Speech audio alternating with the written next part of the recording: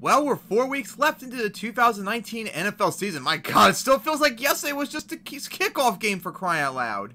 But we're now four weeks in. It's now time for my week 14 picks. Last week, oh God, I went nine and seven. Oh, I, went, I was so lucky that the um 4 p.m. games, Sunday night, Monday night went my way because oh God, the 1 p.m. games were a bloodbath. And I went two and one on Thanksgiving. Didn't help much whatsoever. Oh God, like free another week in a row having a terrible year. That's pretty terrible week. That's pretty bad.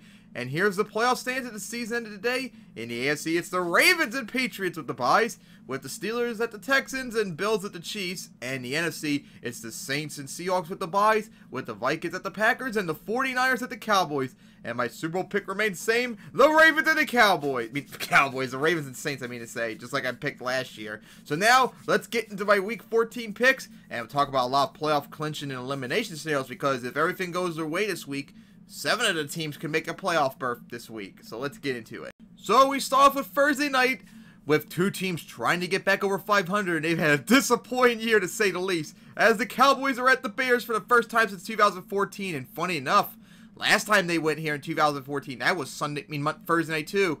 It's been um, a primetime game multiple years since they've been there. Jeez as the Cowboys, oh boy, they've lost two in a row now, and they got destroyed by the Bills on Thanksgiving. That was absolutely embarrassing. And, and of course, Jerry Jones, being a senile old man he is, won't let go of his puppet, Jason Garrett. oh my God. And then the Bears, they beat the Lions. They won two in a row now. They're back at 500, but the season is, unless they make one hell of a comeback, or someone in the NFC North, like the Packers or Vikings, or someone has an epic collapse, it's going to be very difficult for them to make the playoffs. But hey, they're still in it. And even if they lose, and the Vikings and Packers all win this week, they still would technically be in since they still have to beat. They could still get if they win out and then the Vikings lose out, perhaps. So they're still in even with a loss. As this game could probably go either way, but I really don't trust either teams. It's just who do I trust less? And I trust the Cowboys less right now. Lost two in a row on the road now. I'm picking the Bears for this, but I guess I won't be surprised either if the Cowboys get it. And then we get to our 1 p.m. games. Start off with the Colts at the Buccaneers for the first time since 2011. How about that? Finally not Monday night for once like the last two times. As the Buccaneers, if they lose and the Vikings win, they will be eliminated from the playoffs. So it's win or die here. As the Colts, oh God, nothing's going their way right now as they got blown out by the Titans last week. As the Buccaneers actually destroyed the um the Jaguars last week. Very impressive right there as they've now beaten the matched their win total from last year, trying to get over that mark. As it's going to be tough. Thankfully for the Colts, I heard Marlon Mack might hopefully be back this week. It's going to be interesting to see how this handles. But of course, I still don't fully trust the Buccaneers. I think even though they've won two in a row and they've blown out the Falcons and Jaguars on the road, I'm still not fully trust on them. Even though the Colts are having injury problems of their own. I'm still picking the Colts for this one. And then it's the Dolphins at the Jets. And the Jets, if they lose, or the Steelers or Titans win, and them losing too, I think, they will be eliminated from the playoffs. As, of course, the Dolphins already were eliminated. As the Dolphins, wow, they beat the Eagles in an offensive showout, I mean, shootout. So much for trying to get that number one overall pick. They're putting themselves way out of contention possibly for that right now. But hey, they're still trying to match that win total from last year. They're going to have to win out for that as the Jets try to avoid a fourth straight losing season since they already matched their win total from last week. I mean, last year. And ah! you gave the Bengals their first win of the year, and it wasn't even a close one. You got destroyed by the Bengals. Oh, that was too funny. Oh god, that was embarrassing. What happened to like that um incredible three weeks you had. Oh, jeez, that was embarrassing. But of course, I mean, you also gave the Dolphins their first win of the year too, so you're blowing everyone's winless seasons for crying out loud. You're a punching bag for them. But I'm still gonna pick the Jets. But watch the Dolphins beat them again like they did earlier this year. And of course, the Dolphins somehow always seem to humiliate the Jets when they visit them. Then we get to our huge Sunday night, I mean, Sunday game right here. That should have been Sunday night along with Ravens and Bills instead, as it's the 49ers at the Saints for the first time since 2014. As for the 49ers, if they win and the Rams lose later tonight, they will be in the playoffs for the first time since 2013. As the Saints also have already clinched the third seed, at least all wrapped up since the Cowboys can't beat them now. As the 49ers lost a close game to the Ravens, they fought hard, just couldn't get it in the end. And the Saints, of course, destroyed the Falcons on Thanksgiving, which got them back to the playoffs and the NFC South title for the third year in a row as they're trying to win out. Now, now they have home field advantage once again with the 49ers loss. They need a win here to secure it possibly and keep up with the Seahawks right now and the Packers, along with the 49ers still as well. Well, we saw the 49ers just barely edged it out against the best team in the AFC. Well, actually lost, but it was still a hard-fought game on the road. Now, I would say statistically, maybe overall, the Ravens are probably better than the Saints because the Saints statistically have not looked that good like they did the last two years. So, if anyways, this could probably be easier for the 49ers maybe than the Ravens were. So you could probably easily see maybe a 49ers winning this perhaps. But I'm still going to pick the Saints for this. I'm still not fully sold on the 49ers, even though they did a very impressive job against the Ravens. But hey, we'll see what happens on Sunday, I guess. And as the Lions at the Vikings, as of course the Lions lost to the Bears on Thanksgiving to no one's surprise, even though they played hard. Of course, they're now eliminated from the playoffs again. And the Vikings trying to get a third straight win season. Of course, no playoff appearance for them yet, even if they win and everything else goes their way. They got to wait till like the next week after this. I mean, what what else is there to think of? This is going to be the Vikings. And as the Broncos let the Texans for the first time since 2013, as the Broncos try to avoid their third straight losing season, the Texans trying to get their um second straight win season. If the Broncos lose, or um I mean and the Titans and Steelers win, they will be eliminated from the playoffs. So trying to avoid that. No playoff appearance yet for the Texans, as they're still just trying to get their first win of the year. Broncos, hey, um, Drew Lock's first start, and they actually won. Very impressive performance against the Chargers and the Texans. Although the score doesn't look like it, come on, man. Come on. They destroyed the Patriots. Matter of fact, I would say they destroyed the Patriots even worse than the Ravens beat them on Sunday night weeks ago. They actually beat them, I think, worse than the Ravens did. As that's not looking good for the Patriots, but we'll get to that later. Big important game for them right now. As I'm going to pick the Texans for this one, but don't underestimate the Broncos either. Don't underestimate them. And then it's the Redskins at the Packers for the first time since 2013. And the Redskins, believe it or not, even though they're 3 and 9, they are still in the playoffs. They can still win the NFC East. But if they lose or the Cowboys win on first tonight, they will be eliminated. So they need to win out and they need the Cowboys and Eagles to lose out to have any shot still getting in the playoffs. Meanwhile, the Packers, if they win and the um, Bears and Rams lose, they might be in the playoffs for the first time since 2016. I'm Not fully sure on that. But of course, the Redskins actually put a number on the Panthers. That was very impressive that the Panthers imploded the way they did. And how about that? The Redskins now won two in a row although they're blowing their chances to get that number one overall pick right now. But hey, I guess you're desperate to try and stay in the playoff race until the Cowboys maybe win tonight, and then you'll be done for. As the Packers got their first win season since 2016, destroyed the Giants in the snow in East Rutherford as they're trying to get back to the playoffs. Who am I kidding? I'm going to pick the Packers. I think it's kind of obvious. But hey, don't underestimate the Redskins. The Panthers did that, and look what happened to them. So I would not underestimate them if I were you, Packers, especially since you've lost to them two times now in a row. And as the Bengals at the Browns, as the Bengals finally got their first win of the year, beating the Jets, and they blew them out too. That was very impressive. And the Browns suffered a, clo a close loss to the Steelers. And unfortunately for the Browns, if they lose and the Titans win, they will be eliminated from the playoffs, continuing the longest drought in the league to 18 years now. So if you want to stay in the playoffs, you gotta win out, and you gotta hope the Titans and Steelers begin to choke out, or the Browns too. I mean, Bills too as well, because then you can get the fifth seed still possibly. but yeah, you're definitely gonna need to win this too. I'm picking the Browns still for this, but hey, I would not underestimate the Bengals if I were you. I mean, they just destroyed the Jets, got their first win of the year. Don't underestimate the Browns, or you're going to be looking me being on the couch in the playoffs. And then we get to our next game, which also should have been Sunday night too, as it's a big one, but I'm scared shitless because I know it's going to be a trap, as the Ravens are at the Bills for the first time since 2013. And if the Ravens win and the Steelers lose, the Ravens will be in the playoffs and clinch the AFC North for the second year in a row. And depending on if the Texans lose, they would at least guarantee them the third seed, which would be an improvement from last year's fourth seed. As the Ravens had a hard fought game against the 49ers and held on for the win, as eight wins in a row. This is the longest in franchise history now, as they are one step closer to getting to the playoffs. Meanwhile, the Bills destroyed the Cowboys on Thanksgiving as they got their first winning season since 2017 and trying to win 10 games for the first time since 1999. They the Bills cannot get a playoff spot yet.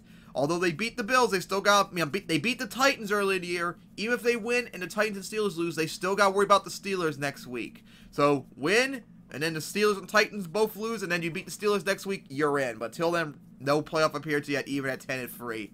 Now, of course, this is going to be a trap game for the Ravens. Yeah, they're the best team in the AFC, if not one of the best teams in the league. But the Bills have always beaten the Ravens when they host them. And the Ravens always choke and always fail in the most spectacular ways when they visit them. I am not war I'm warning you, Ravens. Take the Bills seriously. You will easily lose if you don't. And that's coming from me, who still who thinks you're the best team in one of the best teams in the league, if not definitely the best team in the AFC. Don't underestimate the Bills. But knowing you, you're probably going to, and that's why I'm gonna pick the Bills to win this. And as the Panthers at the Falcons, and if the Panthers lose and the Vikings win, they will be eliminated from the playoffs for the second year in a row. And of course, they fired Ron Rivera to my actual surprise. I mean, I wasn't expect. I was sure he was probably going to get fired this year the way the Panthers have been going, but four games left still, and they're still in the playoff race too. Remember, if you're going to fire him, why not wait till the end of the year? And of course, he was he play, he was the Panthers coach for almost eight years, almost beat tying um John Fox for longest tenured, and he still did have an overall good um um, tenure with them. Made he reco- he revived them from their two and fourteen finish in 2010. Four playoff appearances, three NFC South titles, an NFC Championship in 2015 at Super Bowl appearance with that 15-1 record with the number one offense that year. So he did have, I would say, a good job with them. So I'm sure he might get a um, coaching job again very soon. So we'll see on that. And of course, the Panthers got humiliated by the Redskins. How do you go up 14 nothing and then you let the Redskins score? What was it, like 29 unanswered points? Oh, God. That was terrible. And the Falcons, of course, eliminated. Although they did try to put up an effort at the end against the Saints, they just choked in the end and they blew it. They did not show up at all. Wow. Hard to believe after that two games in a row where they were dominating everyone, they've now been blown out by the, in their division. Incredible.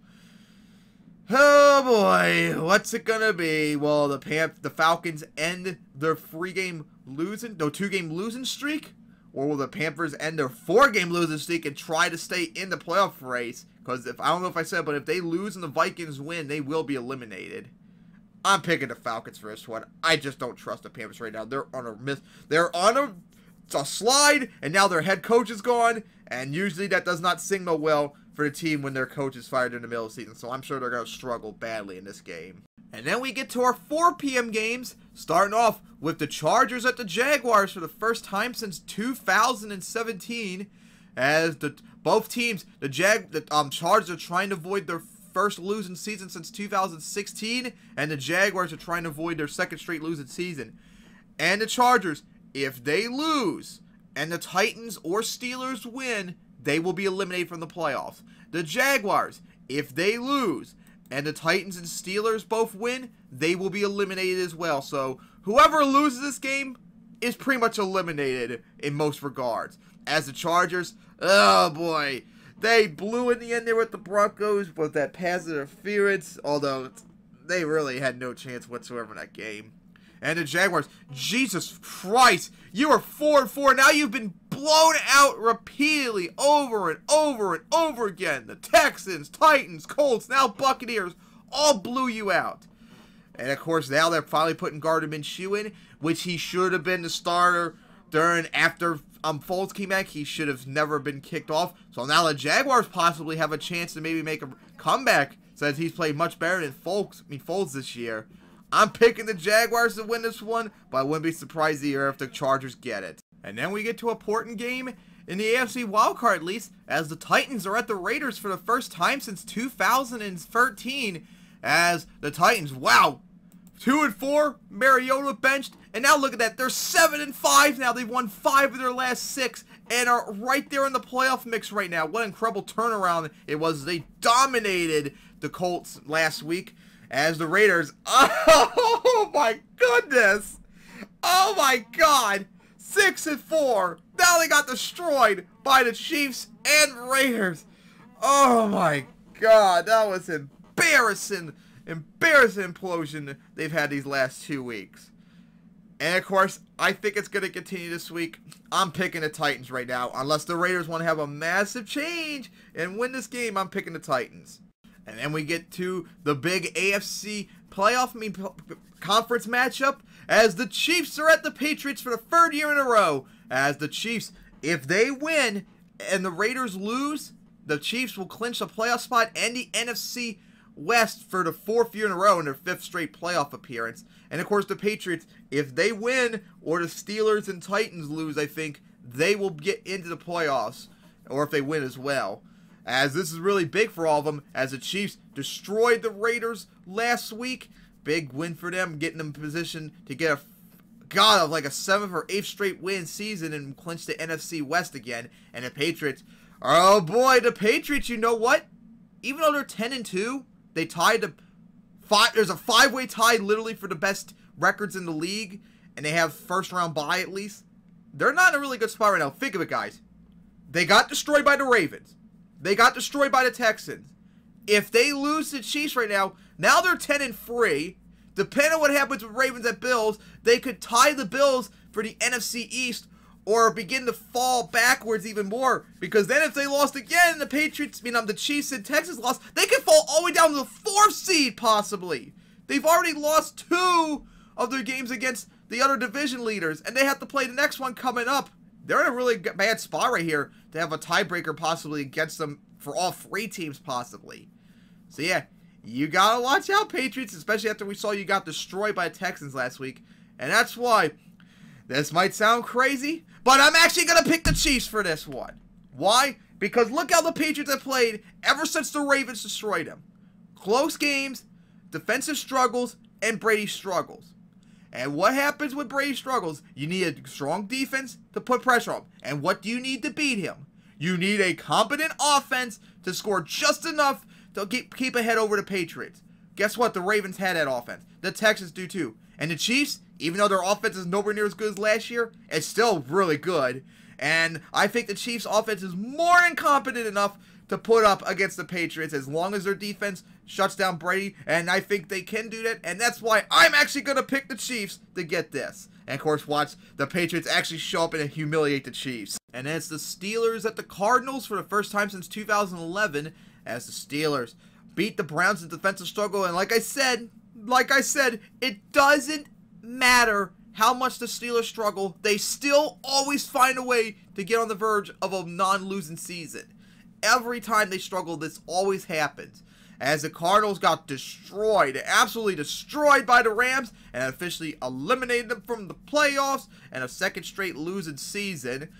As this is good. Oh, God. I actually thought throughout the year this could actually be a trap game for the Steelers.